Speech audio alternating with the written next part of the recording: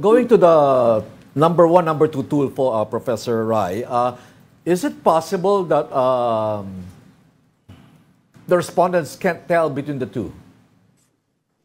Uh, yeah, that, that, there was always that possibility. That's why when we when we uh, when we uh, designed the survey, it wasn't alphabetical. Eh? So so as not to create that kind of uh, uh, problem, no. Uh, but yeah, uh, you know, he, he's been uh, well with the case in the case of the mm-hmm. two Tulfos, they've been doing very well in our surveys for the last two quarters. And uh, Ben Tulfo only started uh, we only started measuring his numbers last quarter, and uh, it's it's the trending is you know it's going up.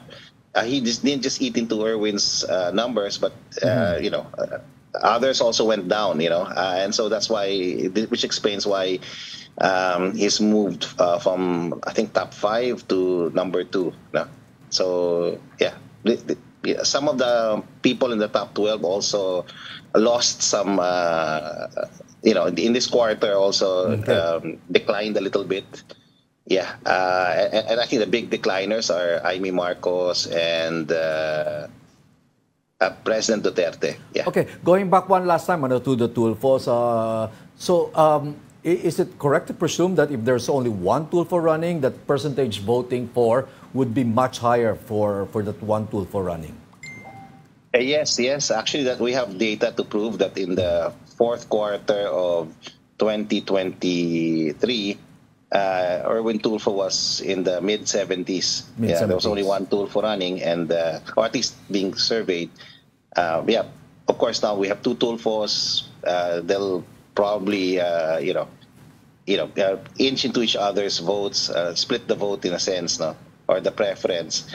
Um, if there's there was an election today, um, you know, it, it would be an advantage if both Tulfos were in the same group. Uh, you know, uh, they would probably complement each other. But if they're on different sides, uh-huh. uh, baka magkaagawa ng boto, no? Uh, mm-hmm. Kasi pagka in one group sila, probably magbibitbitan sila in the words in Filipino, no? And, uh, or, you know, complement each other and the ticket in general. But we don't know what the configuration, whether they're going to run in uh, under the same uh, under the administration or with the you know emerging op- opposition. Mm-hmm. And yet, Professor Rai, no, uh, there's I mean nag-aagaw ng boto, and yet uh, it seems to be it's formidable enough for them to at least share the top two spots at the same time. I mean, uh, what does this tell us? I mean, is this by far, to your memory, the strongest family name you've seen yet in an election survey? You know, this is a pre-election survey, yeah. so Patek things will change. Yeah. Uh, and you know, we, you you don't. Um, we're not the only survey company out there. Where there are other survey companies, and people can compare. No, um, um, it's too early to say uh, that you know this will sustain itself. Mm-hmm. This will be the trend, but they are quite formidable. No, uh, at least that uh, you know we've been tracking Erwin Tulfo since last year and he's a Congressman Erwin Tulfo since last year. And, and, and there's a, obviously a brand that's emerging and, and quite, uh, you know, it, it's a preferred brand. You know, we, we, we talked about political preference of Filipinos being pro Duterte, pro Marcos, being part of the opposition. Yeah, a big chunk of our kababayans are moving towards, uh, you know, being independent uh, not you know not preferring mm-hmm. either the Marcoses or the Duterte, okay. so even the traditional opposition. So, you know, there's there there is a space for a brand like the Tulfos, and it's really for them at this point uh, to sustain, no, uh, and and um, strengthen, no, and make clear what that brand stands for, and to sustain support for it they're very strong, no, uh, as far as this uh, forthcoming elections are concerned. But these numbers could change, no? They mm-hmm. could decline.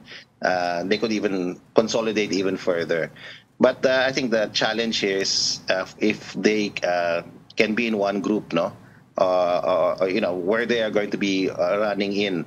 If they're going to run with the administration or with the opposition, we don't know this, no. Why? Why? Um, why would running in the same group serve their election campaign more than running separately? I think uh, running together uh, and with the endorsement of their very popular brother uh, would would uh, help clarify for voters. Now it will be easier for voters.